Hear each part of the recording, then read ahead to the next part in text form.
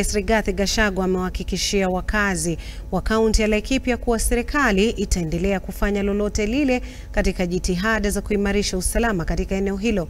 Aidha, Gachagua amesisitiza kuwa maafisa wa usalama wataongezewa katika eneo hilo huku akisifia juhudi zake Rais William Ruto katika kuimarisha uchumi wa taifa.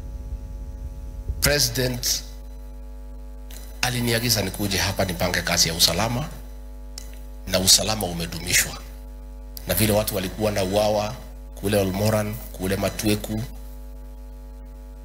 huko Tandari, huko Seiria, huko Mohotetu, kumetulia na tunaendelea. Mliniomba NPR, mpango unaendelea, ile tulisema tutamuongeza. Tunataka Laikipia ikuwe na amani, tunataka mkaaji wa Laikipia apate nafasi ya kufanya kazi yake.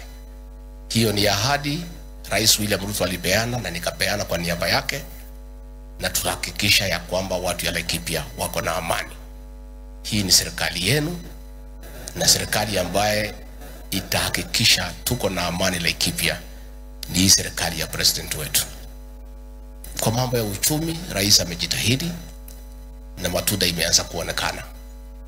Tulipoingia mbolea ilikuwa shilingi elfu saba sasa ni elfu mbili mia tano kazi ya rais William Ruto. Tulikuwa unga ni mia mbili arobaini sasa imeteremuka 130, 135, 125. Dola ilikuwa ndio hiyo 162, sasa ni 134, kwa sababu ya mpangilio.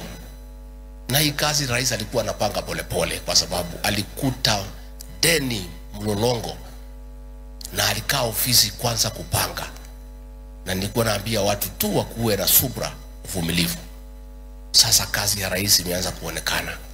Mambo ya hiyo barabara tumepanga, mambo ya dams tumepanga, so tutaendelea polepole polepole, na akimaliza kipindi chake ndio nirudi hapa tena kumwambia tushikane zote, tumwongeze miaka ingine tano kazi yake ikuwa imesimama na inajulikana, na hiyo ni kazi tutaendelea kusukuma Zaidi ya familia